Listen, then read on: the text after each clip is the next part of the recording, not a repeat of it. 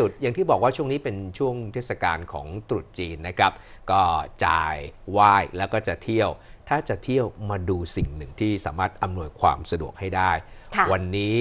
เลิกษ์งามยามดีอืมปฐมฤกษ์เลยค่ะนะครับ คุณผู้ชมครับ วันแรกที่จะมีการเปิดใช้บริการสถานีกลางกรุงเทพอภิวัตอย่างเป็นทางการ หรือว่าที่เรารู้จักกันก่อนหน้านี้คือสถานีกลางบางค่ะซื่อใครไปฉีดวัคซีนโควิด -19 ปี 2 ปีที่ผ่านมา อันนี้แหละคือจุดหมายปลายทาง และวันนี้เขาก็จะเปิดปฐมฤกษ์อย่างเป็นทางการในครั้งแรกครับค่ะ เพราะฉะนั้นอาจจะต้องย้ำสำหรับผู้โดยสาร หรือว่าพี่น้องประชาชนที่จะใช้บริการนะคะสำหรับขบวนรถไฟทางไกล ทั้งสายเหนืออีสานใต้ จะมีการปรับเปลี่ยนทั้งต้นทางแล้วก็ปลายทางทั้งหมดเนี่ย 52 ขบวนด้วยกัน ผู้โดยสารต้องมาใช้บริการที่สถานีกลางกรุงเทพอภิวัตเท่านั้นครับส่วนที่สถานีหัวลำโพงเนี่ยทราบมาว่าก็จะใช้ในส่วนของ เป็นสเป็นถานีที่จะค่ะคือรถธรรมดาอ่ารถชานเมือง แล้วก็ค่ะขบวนรถนำเที่ยวอันนี้ 62 ขบวนค่ะอถามว่าปิดสถานีกรุงเทพหรือว่าสถานีหัวลำโพงเลยไหมค่ะยังไม่ปิดยังไม่นรับปิดค่ะยังให้บริการเพียงแต่จะปรับเปลี่ยน เพราะว่าทางไกลเหนืออีสานบอกไปเมื่อสักครู่เนี่ยจะมาอยู่ที่สถานีกลางกรุงเทพอภิวัตร นะครับขณะที่หัวลำโพงก็ยังให้บริการในส่วนของขบวนรถธรรมดารถชานเมือง แล้วก็รถนำเที่ยวทุกสาย 62 ขบวนครับอ้าวมาดูวันนี้ที่เราจะปรับเปลี่ยนในส่วนของถือว่าเป็นสถานีกลาง โดยพื้นที่เนี่ยโดยรอบรวมถึงที่ตั้งด้วยเนี่ย 2,475 ไร่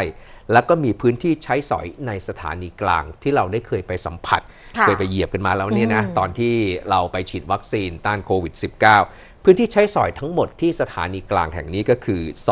298,200 ตารางเมตรครับ โดยขบวนรถไฟเที่ยวปฐมฤกษ์นั้นจะมีในเวลา 13 นาฬิกา 19 นาที ตอนนี้ 12 นาฬิกากับ 6 นาทีนะครับ อีกประมาณชั่วโมงเศษๆครับ จะเป็นรถขบวนดีเซลนะครับ เป็นดีเซลรางปรับอากาศครับ คิฮะ เพื่อการท่องเที่ยว ต้นทางสถานีกลางกรุงเทพอภิวัตร และปลายทางจะอยู่ที่สถานีอยุธยาครับซึ่งนายศักดิ์สยามชิดชอบรัฐมนตรีว่าการกระทรวงคมนาคมก็จะร่วมเดินทางเพื่อสัมผัสกับบรรยากาศด้วย ส่วนขบวนรถโดยสารเที่ยวแรกที่จะออกจากสถานีกลางกรุงเทพอภิวัตรคือขบวนรถเร็วที่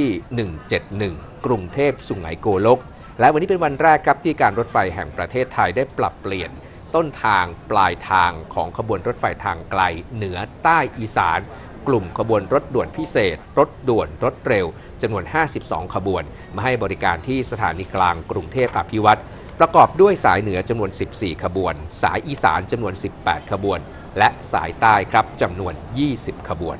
ค่ะทางนี้นะคะทางการรถไฟแห่งประเทศไทยก็ขอเชิญชวนผู้โดยสารที่มาเปลี่ยนใช้บริการ ที่สถานีกลางกรุงเทพอภิวัตรนะคะ ก็สามารถที่จะสำรองที่นั่งล่วงหน้าได้ภาพที่เห็นเนี่ยเป็นภาพบรรยากาศตั้งแต่ช่วงเช้าที่ผ่านมาผู้สื่อข่าวสายเศรษฐกิจของเราเนี่ยเดินทางลงพื้นที่ไปไปติดตามภาพบรรยากาศการทำข่าวนะคะคนก็เริ่มมาใช้บริการกันตั้งแต่ช่วงเช้าแล้ว เพราะฉะนั้นค่ะการที่จะสำรองที่นั่งล่วงหน้าเนี่ยนะคะลองไปเข้าไปดาวน์โหลดแอปพลิเคชันนะคะ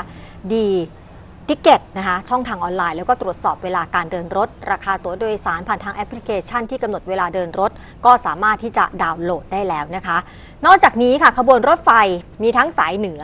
อีสานทุกขบวน จะวิ่งอยู่บนโครงสร้างทางยกระดับ เช่นเดียวกับรถไฟชานเมืองสายสีแดงก็คือบางซื่อรังสิตค่ะ ตั้งแต่สถานีกลางกรุงเทพอภิวัฒน์จนถึงสถานีดอนเมือง คือเฉพาะที่สถานีดอนเมืองจะเป็นสถานียกระดับ จะไม่มีขบวนรถโดยสารวิ่งระดับพื้นดินค่ะ ซึ่งก็จะมีทางจุดตัดเสมอระดับทางรถไฟรถยนต์จำนวน 8 แห่งอย่างเช่น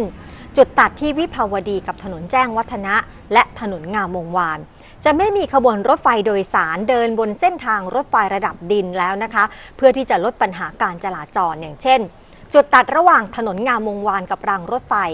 ที่ก่อนหน้านี้อืมอาจจะทำให้รถติดเนี่ย เป็นระยะทางยาวเหยียดจนถึงถนนวิภาวดีรังสิตนั่นเอง อันนี้ยาวจริงๆเพค่ะ ราะทางเข้าบ้านคุณผู้ชมครับ ถ้ามาจากวิภาวดีรังสิตแล้วเนี่ยเลยวัดเสมียนนารีมาหน่อย บางค่ะทีรถติดในเส้นหน้าเลยวัดเสมียนนารีมาเลยนะอืมเพราะว่ารถรอในการที่จะเลี้ยวซ้ายเข้างามวงวาน ใช่ที่จะผ่านค่ะ หน้าเรือนจำคลองเปรมเนี่ยแหละคือตรงเนี้ยรถติดยาวเพราะว่ามีทางรถไฟ ค่ะ ต้นชั่วโมงต่างๆเนี่ยที่เป็นเวลาที่รถไฟมา เราจะรู้เลยว่าตรงเนี้ย ติดจริง ๆ คุณผู้ชม ใช่ค่ะ นอกจากนี้ก็จะยกเลิกอย่างที่บอกไป การใช้ป้ายหยุดรถไฟกิโลเมตรที่ 11 สถานีบางเขน ที่หยุดรถไฟทุ่งสองห้อง สถานีหลัก 4 แล้วก็ที่หยุดรถการเคหะกิโลเมตรที่ 19 และขบวนรถในเส้นทางสายใต้ก็จะวิ่งบนโครงสร้างทางยกระดับรถไฟชานเมืองสายสีแดงก็คือบางซื่อตลิ่งชัน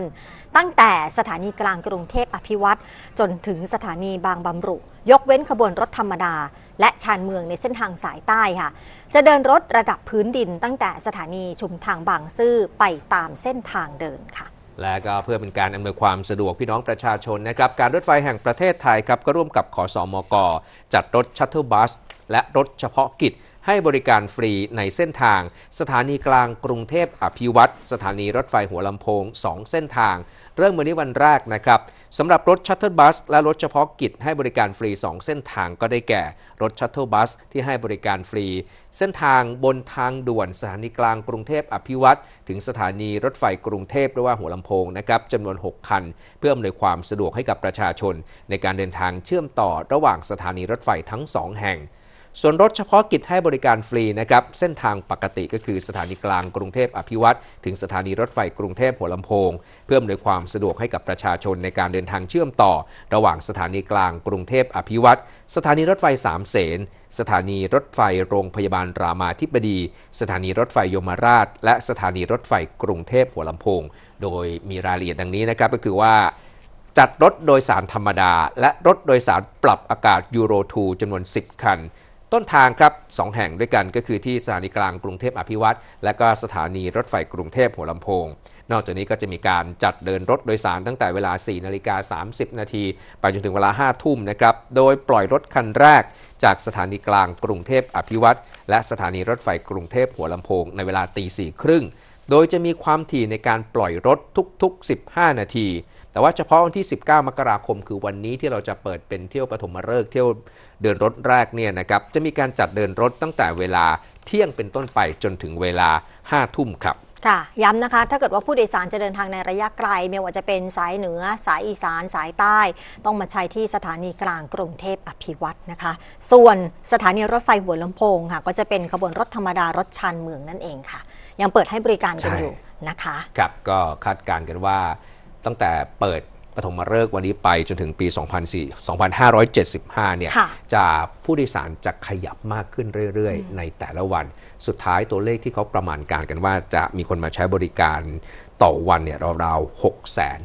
624,000 คนนั่นเองครับค่ะเพราะฉะนั้นหลังจากนี้ต้องติดตามกันต่อนะคะ หลังจากที่มีการยกเลิกเกี่ยวกับเรื่องของป้ายหยุดรถไฟแล้ว มันจะทำให้เรื่องของสภาพการจราจรตามจุดต่างๆ โดยเฉพาะถนนวิภาวดีรังสิตที่จะไปนนทบุรีอย่างงามวงวานคหรับรือว่าจะส่วนตรงบางเขนเนี่ยสภาพการจราจรเนี่ยมันจะสามารถดีขึ้นหรือไม่อย่างไร เพราะว่าถ้าเกิดว่าใครที่เดินทางในช่วงเวลาเร่งด่วนฮะอย่างที่บอกไปเมื่อสักครู่มันรถติดจริง ๆ นะโอ้โห บางทีกว่าจะเลี้ยวเข้าบ้านได้ค่ะโหนานมากทีเดียวนะ จะเข้าใช่เส้นงามวงวาน เพราะฉะนั้นแล้วน่าจะช่วยในหลาย ๆ เส้นทาง เพราะว่าอย่างที่บอกไปว่ามีการยกเลิกค่ะในหลายใช่จุดที่ค่ะเป็นทางตัดรถไฟเหมือนกันอืมครับ